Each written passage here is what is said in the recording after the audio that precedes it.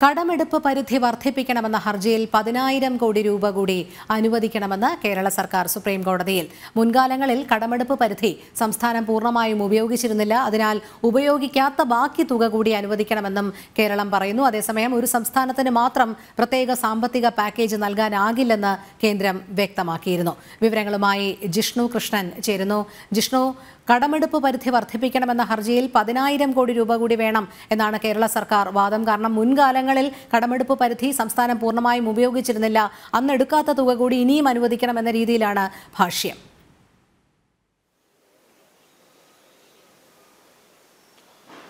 രോഹിണി സാമ്പത്തിക പ്രതിസന്ധി മറികടക്കുന്നതിനായി കടമെടുപ്പ് പരിധി വർദ്ധിപ്പിക്കണമെന്ന കേരള സർക്കാരിന്റെ ഹർജിയാണ് സുപ്രീം കോടതിക്ക് മുൻപിലുള്ളത്. ഇത് കഴിഞ്ഞ തവണ കേസ് പരിഗണിക്കുമ്പോഴും പതിനായിരം കോടി രൂപ കൂടി അധികമായി അനുവദിക്കണമെന്ന ആവശ്യം കേരള സർക്കാർ സുപ്രീം കോടതിയിൽ ഉന്നയിച്ചിരുന്നു. ഇന്നും വാദം നടക്കുമ്പോൾ സമാനമായ വാദമാണ് കേരള സർക്കാർ സുപ്രീം കോടതിയിൽ ഉന്നയിച്ചിട്ടുള്ളത്. ഈ ഒരു സാമ്പത്തിക പ്രതിസന്ധി മറികടക്കുന്നതിനായി കേരളത്തിന് അയ്യായിരം കോടി രൂപ കൂടി അനുവദിക്കാം എന്നുള്ളത് കേന്ദ്ര സർക്കാർ കോടതിയെ അറിയിച്ചിരുന്നു. എന്നാൽ അയ്യായിരം കോടി രൂപ മതിയാകില്ല.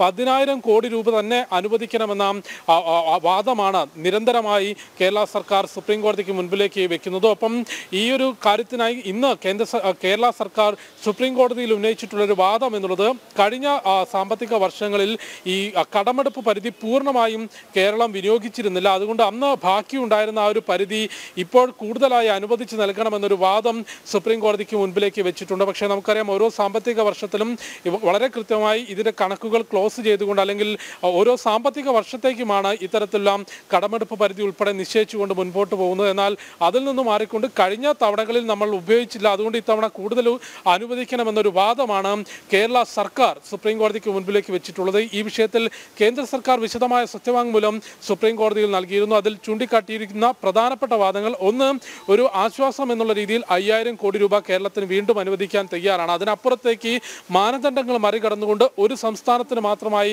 പ്രത്യേക പാക്കേജ് അനുവദിക്കാൻ സാധിക്കില്ല. അത് മറ്റ് സംസ്ഥാനങ്ങളിൽ ബുദ്ധിമുട്ടുണ്ടാക്കും. എല്ലാ സംസ്ഥാനങ്ങളോടും ഒരേ നിലപാടാണ് ഈ വിഷയത്തിൽ സ്വീകരിക്കുന്നത് എന്നുള്ളതാണ് കേന്ദ്ര സർക്കാർ ചൂണ്ടിക്കാട്ടിയത്. ഒപ്പം നിലവിൽ കേരള സംസ്ഥാനത്തുള്ള സാമ്പത്തിക പ്രതിസന്ധിയുടെ കാരണം സംസ്ഥാന സർക്കാരിന്റെ തെറ്റായ നയങ്ങളും സാമ്പത്തിക മിസ്മാനേജ്മെന്റുമാണ് എന്നുള്ളത് വളരെ കൃത്യമായി കേരള കേന്ദ്ര സർക്കാർ സുപ്രീം കോടതിയെ അറിയിച്ചിരുന്നു. അതുകൊണ്ട് ആ സാമ്പത്തിക പ്രതിസന്ധി മറികടക്കാനുള്ള ചുമതലയും ബാധ്യതയും സംസ്ഥാന സർക്കാരിനാണുള്ളത്. അത് കടമെടുപ്പ് പരിധി വർദ്ധിപ്പിച്ചാൽ അത് അടുത്ത സാമ്പത്തിക വർഷത്തിലേക്ക് വീണ്ടും ബുദ്ധിമുട്ടുണ്ടാക്കും എന്നുള്ളതും കേന്ദ്ര സർക്കാർ അറിയിച്ചിരുന്നു. അതിനുശേഷവുമാണ് ഇപ്പോൾ വീണ്ടും പതിനായിരം കോടി രൂപ തന്നെ അധികമായി അനുവദിക്കണം എന്ന് കേരള സർക്കാർ സുപ്രീം കോടതിയിൽ അറിയിച്ചത്. ജിഷ്ണു കൃഷ്ണനാണ് വിവരങ്ങൾ നൽകിയത്.